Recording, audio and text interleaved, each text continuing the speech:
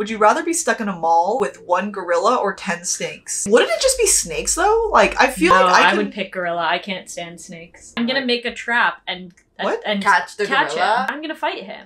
Good for you. And I'm picking the snakes. I think a gorilla, a gorilla answer is crazy.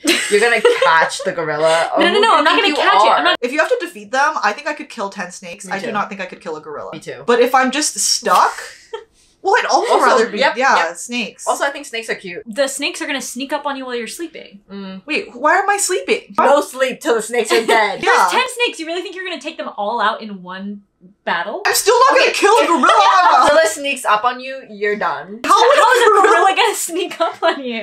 What is Plan. like a gorilla tier booby trap? Bells. Bells would not wake me up. Oh, it would wake me up. I'll just sleep Wake somewhere. me up before you go. Okay, I don't. I don't know. I don't really on know how strong a Snakes. gorilla is. Snakes is the conclusion.